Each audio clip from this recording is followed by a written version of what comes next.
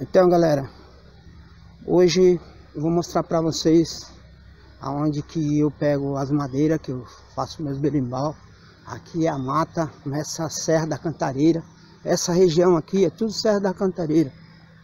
Vai até a região de Nazaré Paulista, Bragança, Mariporã, esse lugar aí. Aqui é a cidade de Guarulhos, tá?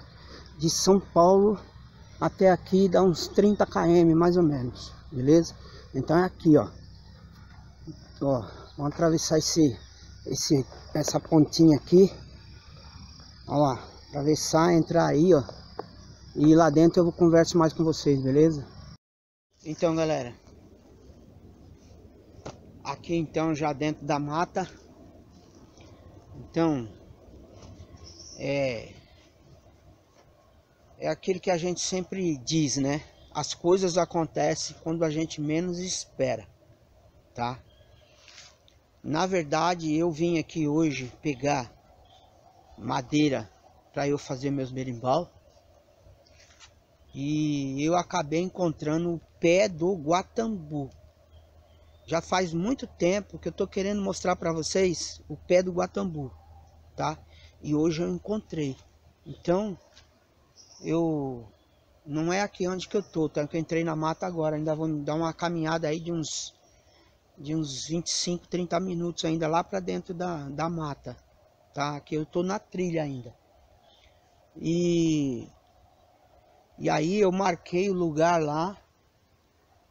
Tem que encontrar ainda mais ou menos aonde que tá para eu poder filmar para vocês o pé do Guatambu, beleza? Mas vou aproveitar então essa situação e falar um assunto com vocês que eu sempre estou falando, tá? E deixa eu ver um barulho ali. Aqui dentro da mata a gente tem que ficar, ó, olho aberto e ouvido. Mas tudo bem. Acontecer alguma coisa aí, a gente sabe como agir. Porque aqui dentro da mata tem uns animais que vivem aqui, né, meu? Mesmo assim, a gente pede licença para os nossos ancestrais e os protetores da floresta, para os guardiões da floresta, para que nada aconteça com a gente dentro da mata. Isso daí a gente sempre tem que estar tá fazendo, tá? Para respeitar os limites, beleza? Então, galera, um assunto que eu sempre estou falando com vocês, eu vou falar de novo mais um pouquinho hoje, para desmistificar um, um mito que foi criado por todos os capoeiristas, de que o berimbau tem que ser feito de biriba. E isso é um mito, tá? Porque existem inúmeras madeiras próprias e boas para fazer berimbau. Por que, que eu estou falando isso? Porque se a gente não cuidar, a gente vai acabar extinguindo a biriba. Imagine vocês, todos os capoeiristas do mundo inteiro querendo o seu berimbau que seja de biriba. Então, tem que tirar isso da cabeça, tá? Porque existem outras madeiras próprias para fazer berimbau.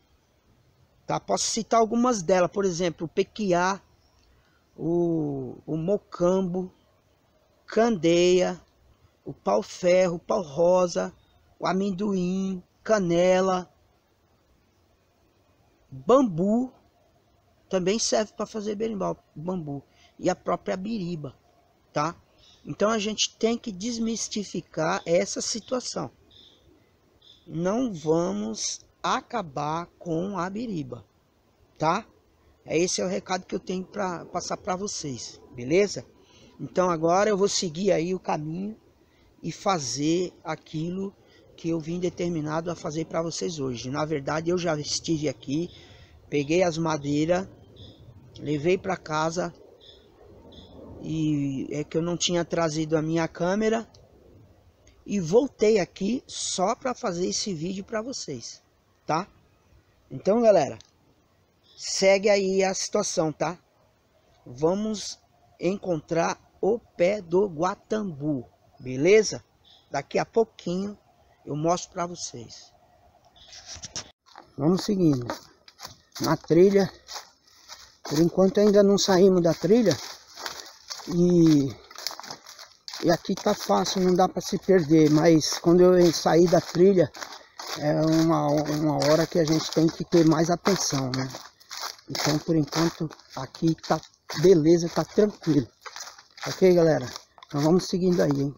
Aí, galera. Ainda tem umas madeiras aqui que eu cortei, deixei aí. Eu vou pegar. Aqui eu tô na trilha, mas vou sair dela. Vou subir aqui, ó. Nessa parte aqui. Tá? Eu sei que foi por aqui. Dei uma marcada mais ou menos no lugar. Mas eu tenho que procurar, ok? Então vou seguindo aqui. Na hora que eu encontrar, eu volto a falar com vocês, beleza? Vamos embora. Aí, galera. Estamos chegando aqui, hein? Marquei aqui o lugar, ó, com essa samambaia aqui na árvore. E aqui, ó, tá o pé do guatambu. É evidente que eu não vou cortar, porque ainda tá pequeno. Mas a característica dele é essa aí, ó.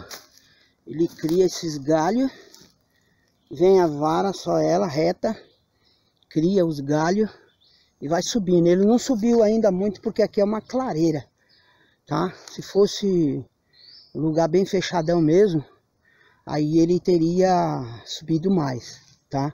Mas aqui, ó, olha aqui a folha, a folha do guatambu é essa aqui. Vamos bater uma foto aqui para para vocês é, idealizar bem essa folha. Para você, quando for procurar na mata, você encontrar uma árvore igual essa daqui, ó. Tá? Ela sobe reto e sai uns 5, 6 galhos em volta dela. Isso aí é o guatambu, beleza? Mas o dia que eu encontrar uma melhor, grande, que dê para mim cortar, aí sim vou fazer o berimbau do Guatambu e mostrar o resultado para vocês, ok galera? Mas hoje aí a intenção foi essa, né? Porque as coisas acontecem quando você menos espera. Hoje eu não tinha trazido a minha câmera e encontrei o pé do Guatambu. Então, voltei aqui só para fazer essa filmagem, beleza? Então, um grande abraço para vocês e vamos embora, hein? Segue um novo assunto aí, tá ok? Um grande abraço, um salve para vocês do Mestre Peixe, diretamente da, de dentro da mata. Olha lá, onde que eu tô aqui, vou dar um 360 graus aqui, ó. Ó, dentro da mata, diretamente. Aqui que eu pego as minhas madeiras para fazer berimbau. E tá aí o pé do Guatambu. Cumpri a missão de mostrar para vocês. Um grande abraço. Vamos, vamos embora.